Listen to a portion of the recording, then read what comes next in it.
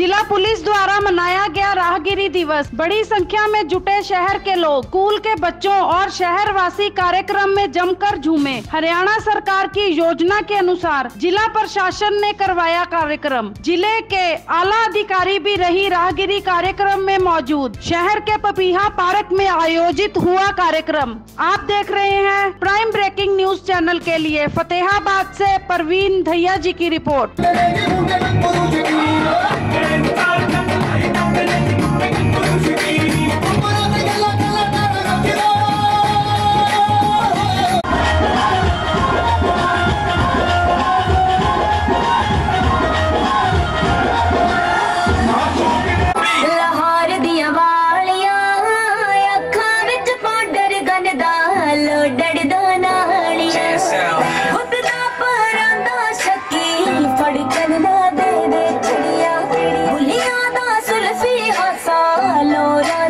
देखने को हरियाणा सरकार की तरफ़ से पूरे हरियाणा में हर एक ज़िले को ये हिदायत हुई थी, निर्देश थे ये, कि राहगिरी जैसे प्रोग्राम करवाए जाए। इस प्रोग्राम में जो सामाजिक ताना बाना है, वो आपस में लोगों का जुड़ता है, जो संस्कृति है हमारी, जो पीछे छूटती जा रही थी, कहीं ना कहीं उसको, उस संस्कृति को में वापस लाने के लिए और सामाजिक ताने बाने को मज़बूत रखने के लिए हरियाणा सरकार द्वारा करवाया गया ये कार्यक्रम। आज उपायुक्त महोदय श्री हरदीप सिंह की अध्यक्षता में यहाँ संपन्न हुआ पपैया पार्क में।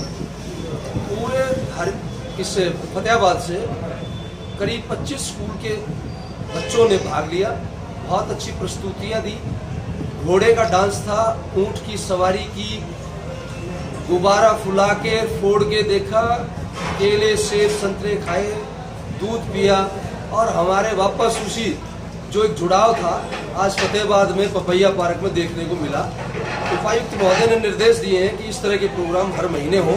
ये हमारा प्रयास रहेगा कि हर महीने हम ये प्रोग्राम जारी रखें। आज केडी और एमडी, दोनों भाई आज, जो हमारे हरियाणा के आज के दिन सबसे बढ़िया, सबसे टॉप के कलाकार हैं उन्होंने खुद इच्छा व्यक्त की कि हम आना चाहते हैं, क्योंकि वो हमारे डीएसपी साहब टोहाना श्री जोगिंदर सिंह के घनिष्ठ मित्र भी हैं। उनका एक संदेश पे वो यहाँ आए, उन्होंने अपनी प्रस्तुति दी। सभी युवा साथियों ने इवन बुज़ुर्गों ने भी आज इनकी प्रस्तुति का आनंद लिया। सरकार को भी, प्रशासन को भी, इस तरह के इवेंट अगर होंगे तो युवा नशे से ज़रूर दूर जाएगा, क्योंकि जब हम खाली होते हैं, युवा जब भी खाली होता है, तब वो बुरे बुरे विचार उसके मन में आते हैं, अच्छे भी आते हैं। पर जब बिज़ी युवा रहेगा किसी अच्छे कार्यक्रम में, अच्छी दिशा में युवा जाएगा तो उसके दिमाग से नशा वगैरह दूर चला जाएगा। देखो, मैं इतना नहीं कहना चाहूँगा कि हरियाणा में इतना भी नशा फैल चुका है, इतना नहीं है, पर कुछ युवा नशे की तरफ़ जो जा रहे हैं, वो वापस आएँगे जब खेलों की तरफ़ रुझान होगा। जैसे खेलों का आपने देखा समय समय पर सरकार की तरफ़ से भी दंगल वगैरह आयोजित होते हैं, और और भी गेम जितने भी होते हैं खिलाड़ियों को इतनी सपोर्ट है बहुत ज़्यादा। तो बहुत युवाओं को दूर करने की कोशिश बहुत की जा रही है, सरकार की तरफ़ से, प्रशासन की तरफ़ से। और धीरे धीरे सब अच्छा होगा।